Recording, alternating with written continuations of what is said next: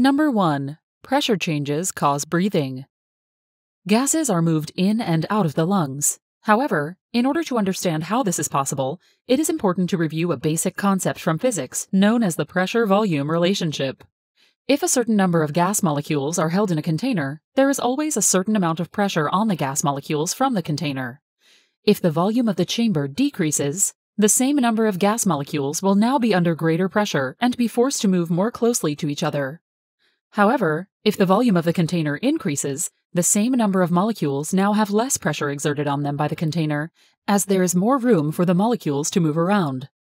Thus, the pressure on the gas molecules in a container is determined by the volume, or how large the container is.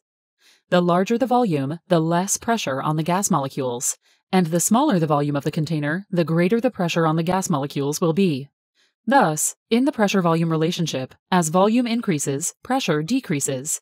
As volume decreases, pressure increases. This is how air is brought into and out of the lungs.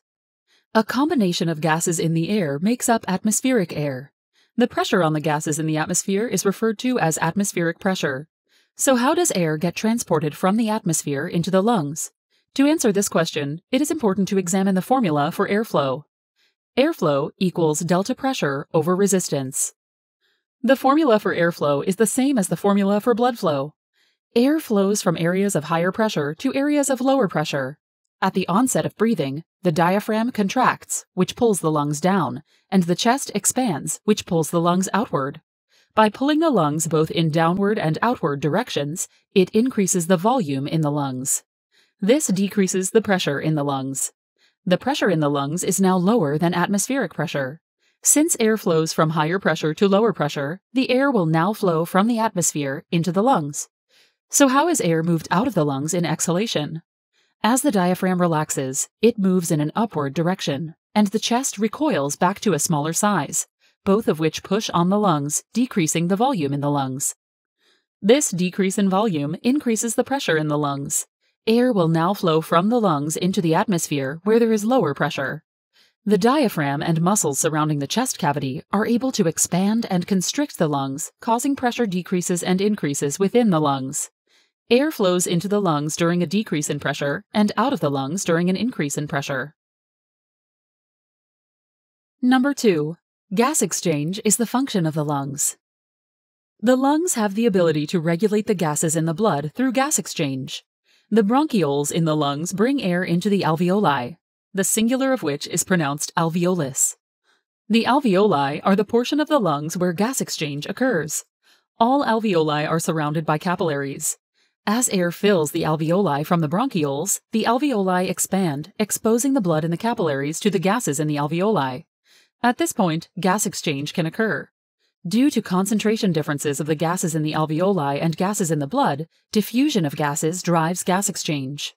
Oxygen diffuses from the alveoli into the blood, and carbon dioxide diffuses from the blood into the alveoli. However, the lungs are far overbuilt to do their job, and the human body contains much more lung tissue than is actually needed for life. Thus, some alveoli are not ventilated, meaning they do not receive an air supply, and the alveoli collapse. Blood flow is diverted from these collapsed alveoli, and this region of the lung is basically unused. During exercise, the demand for gas exchange increases. The contracting skeletal muscle consumes more oxygen and produces more carbon dioxide than at rest. To meet this demand, the number of active alveoli is increased. At the onset of exercise, there is an increase in both respiratory rate and heart rate, meaning both blood flow and airflow increase. Why is this important? Imagine if only respiratory rate increased, yet heart rate remained the same. The increased ventilation would bring more oxygen into the lungs and inflate more collapsed alveoli. However, there would be no blood for this oxygen to diffuse into. Therefore, while there was an increase in oxygen uptake by the lungs, it would be completely ineffective without a corresponding increase in blood flow to receive the oxygen from the lungs. Similarly, if blood flow to the lungs increased to remove carbon dioxide from the blood without an increase to ventilation, the blood would simply circulate through the lungs with no increase in available alveoli to release the carbon dioxide into. This is why it is important that in the lungs, an increase in blood supply to alveoli is matched with an increase in air supply to the alveoli. Put another way, when blood begins to perfuse the alveoli, The lungs also need to ventilate the alveoli if gas exchange is to occur. This is the basis for the ventilation perfusion ratio, V over Q. The ventilation perfusion ratio is a measure of air supply and blood supply to the alveoli. When additional alveoli are activated during exercise, the body works to ensure that the newly recruited alveoli are at a ventilation perfusion ratio as close to 1 as possible. A ventilation perfusion ratio below 1 means there is more blood flow than airflow, and a ventilation perfusion ratio greater than 1 means there is more airflow than blood flow. The ventilation perfusion ratio is regulated through dilation or constriction of the bronchioles and pulmonary arterioles. Bronchioles and arterioles have a layer of smooth muscle. When the smooth muscle constricts, it reduces flow, and when it dilates, it increases flow. For example, the bronchioles dilate in response to an increase in carbon dioxide in the lungs. Since carbon dioxide is brought to the lungs by the blood, an increase in carbon dioxide concentration in the lungs is a sign of an increase in blood flow in the alveoli. To match the increase in blood flow, the lungs respond with bronchodilation, increasing airflow. Increasing airflow to match the increased blood flow brings the ventilation perfusion ratio as close to 1 as possible, maximizing gas exchange. Similarly, blood vessels can reduce perfusion in response to low ventilation.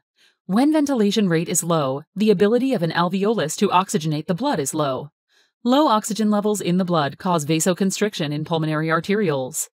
This reduces blood flow to an alveolus where ventilation is low, bringing the ventilation perfusion ratio at that alveolus closer to 1, so that a large amount of blood is not sent to an alveolus with a low amount of oxygen. By vasoconstricting, much of the blood from the arteriole is diverted to other alveoli. Thus, gas exchange can be maximized by the bronchioles and arterioles responding to the concentration of gases in them, and altering the ventilation and perfusion accordingly. Thanks for watching, and remember to subscribe to our channel.